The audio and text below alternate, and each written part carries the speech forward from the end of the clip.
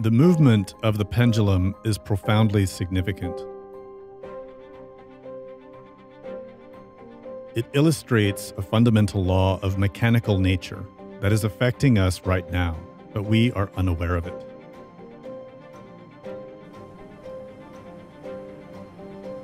Everything in nature has its ebb and flow, its rise and fall, increase and decrease. Everything moves back and forth according to this law. Everything oscillates, is subject to the fluctuations of time, and is evolving or devolving.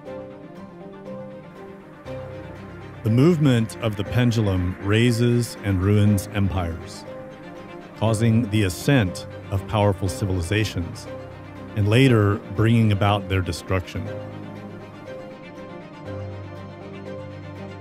Everything in mechanical nature rises and falls. Leaders, countries, political systems, religions, entire planets, entire galaxies come and go with the pendulum. The pendulum drives our mind to the extremes of duality good versus evil, yes versus no, black versus white, conservative versus liberal, capitalism versus communism, religious people versus atheists. Meanwhile, in essence, both sides are the same people's opinions.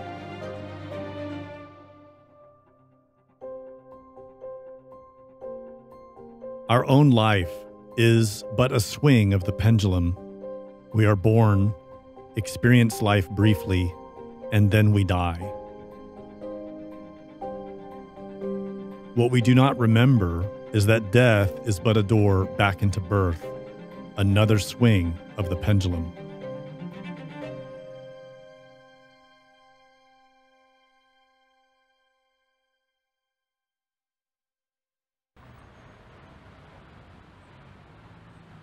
During each brief existence, the pendulum dictates our days and nights, and the highs and lows of our life.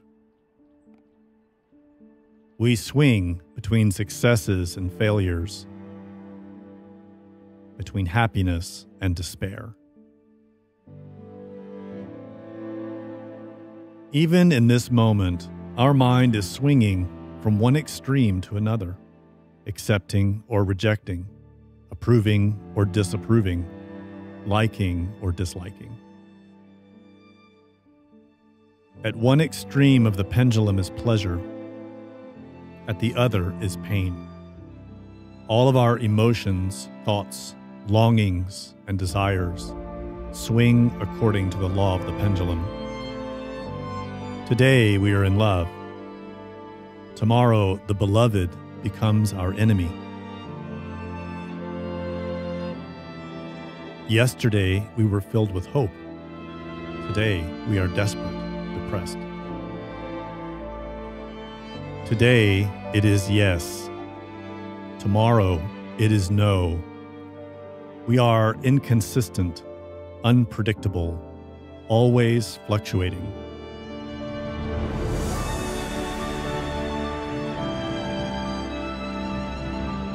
The law of the pendulum is 100% mechanical. It relates to machines.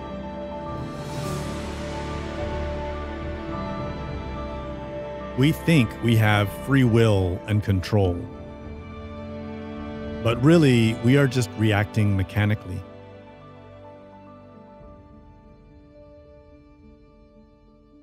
A little discomfort or annoyance causes us to become enraged, and then we storm around, spreading our anger to everyone.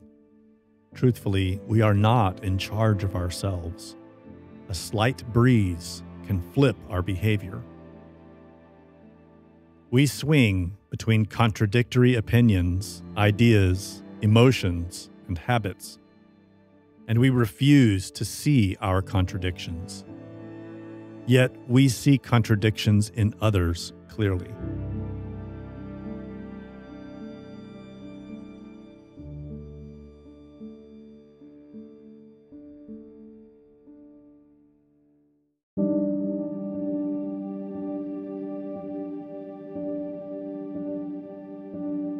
Because of the pendulum, we are easy to manipulate. To get what they want, people manipulate our pride, fear, lust, and envy. If making us happy gets them what they want, they praise us. If making us angry gets them what they want, they offend us.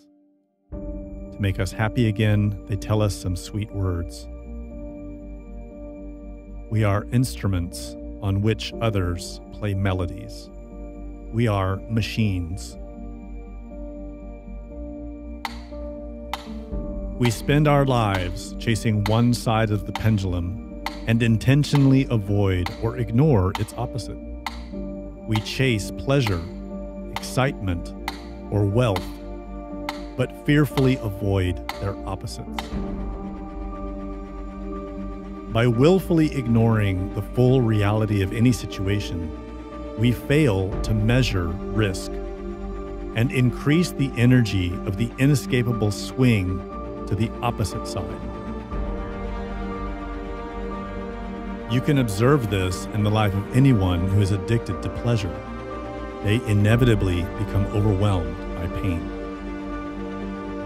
Those who constantly seek excitement are like moths drawn to flames. Never satisfied, they are soon destroyed.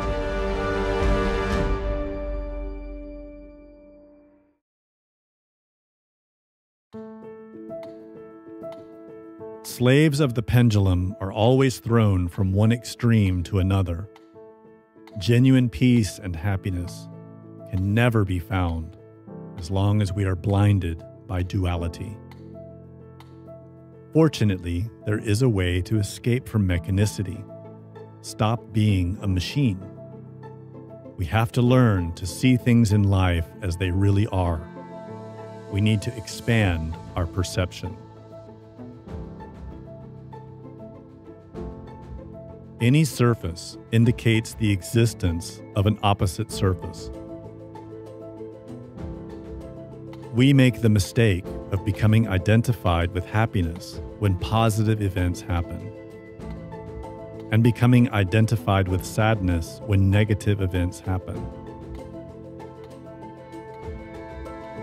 Because we fail to see these are two faces of the same thing. Everything in mechanical life is swinging on the pendulum. If in this moment there is pain, that means that happiness is coming next. If, in the moment of pain, we become aware of the law of the pendulum, we would not be identified. We would be prepared. Thus, when happiness arrives, we will not be surprised or identified. If we want to see the two faces of everything, it is necessary to live not swinging on the pendulum, but within a circle. Imagine a circle around you. Around that circle pass all of the opposite pairs. Around that circle, we can see a very interesting parade. After great happiness comes great sadness. After great pleasure comes great pain. There are moments when everybody laughs. When one sees that, one can be sure suffering is coming. That is certain because everything is dual in life. After the laugh comes its antithesis pain and crying. Everything has two faces positive and negative.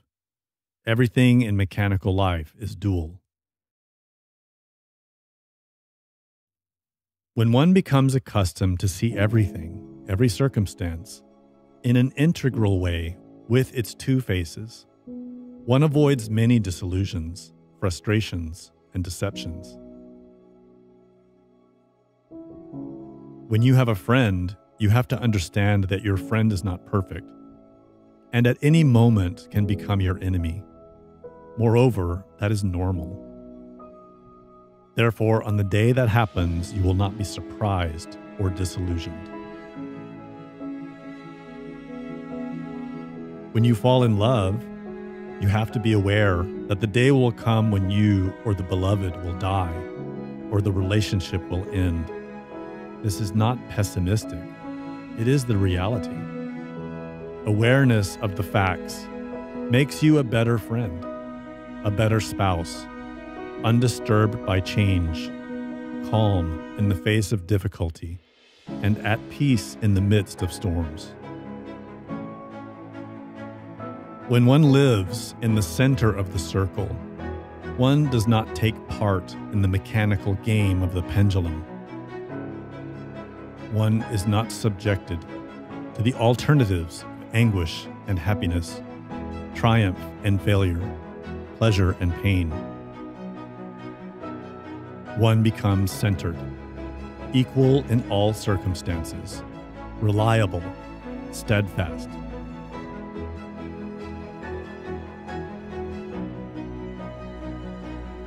When you see from within the circle, you see all sides equally. Instead of being attached to and limited by a narrow view, your mind opens to seeing things in new ways. This reduces conflict with others and steadily increases your wisdom.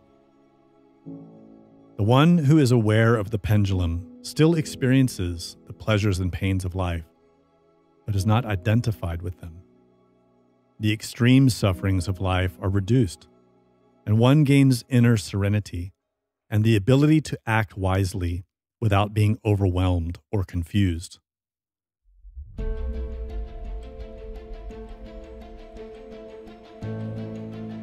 Usually, we are unaware of the pendulum. This means the two extremes, positive and negative, swing in an atmosphere of ignorance. When we are aware, the two extremes become balanced by a third force. This is the famous Tao, the middle path, the lever or point of balance that the wise use to move the universe.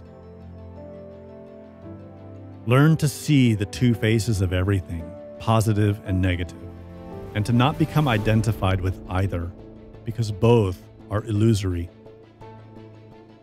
This awareness is the third force, and it equilibrates the opposites. That is how you balance your mind and rise above the shallow fluctuations of mechanical life, unattached, aware, and ready to act without being confined by limited views. Everything passes in life.